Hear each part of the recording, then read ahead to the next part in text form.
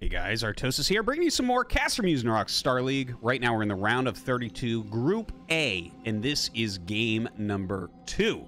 We have in the top right here Nansu, who again I don't really know anything about. He he might actually be the least known player in this in this tournament, so I'm I my mind's open. I don't know what we're gonna see.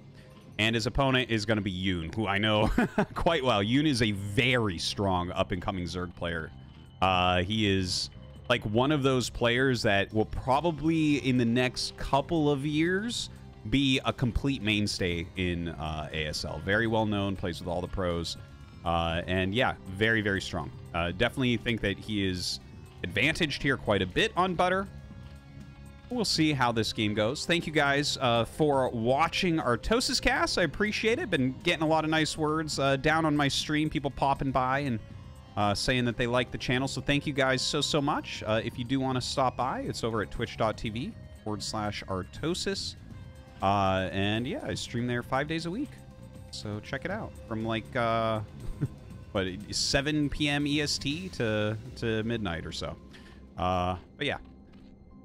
Anyways, thank you for that. Now, it looks like we have a 9 pool coming out of Yoon here. Very quick scout from Nansu, so he's going to be able to see the timing of this, and he's going to have to throw a Forge down, because that pool is quite quick.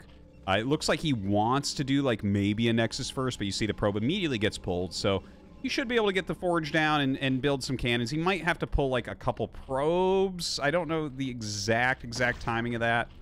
Uh, but yeah, I believe I believe he will need to maybe do something like put a gateway up and then put a couple probes there, something like that. Uh, yeah, yeah, let's see. now, uh, actually, one fun thing is this is Butter 2. On Butter 1, uh, you could actually go Nexus first and do a full wall that was completely tight.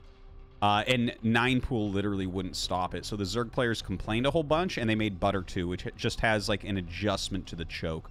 Notice this here.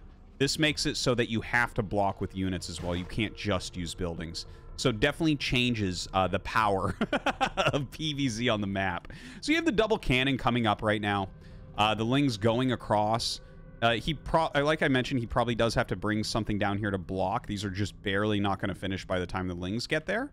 Uh, here comes the probe, but I feel like there should be two probes. Like you throw a gate down and like put a couple probes like right there, I believe it is. Oh, wait a second. Uh. well, he does. He doesn't block. Like, uh, you need to know these timings. Um.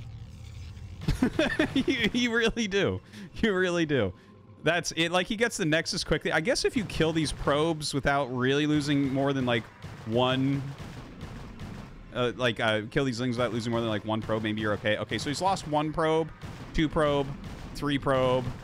Oh, God. That's like four probes.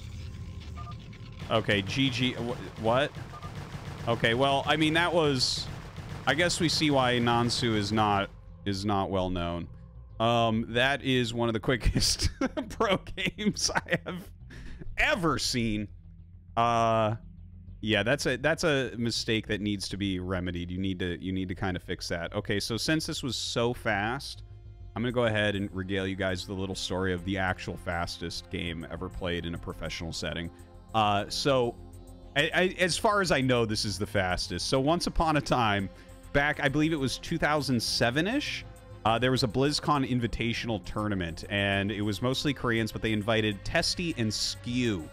Uh, Skew, a good friend of mine, uh, he was the co-leader of media with me back in Brood War. And uh, Skew just tried to, like, proxy racks in his game. So it, first off, it was cool that he was invited because it meant Blizzard was paying attention to the foreigner community because Skew was really, really, really good at the time. Uh, so it was cool that he got to go play BlizzCon, but then he goes there, he proxy raxes like all of his games. They get scouted immediately, and he just GG's. And he had a game, if I'm not mistaken, it was 2 minutes and 11 seconds long. So he goes to BlizzCon, he plays for less than 10 minutes total, and uh, I remember the the top foreigner players. We all teased him after that, and we we called that uh, uh, that was like a period of time, a skew, two minutes and eleven seconds by measurement.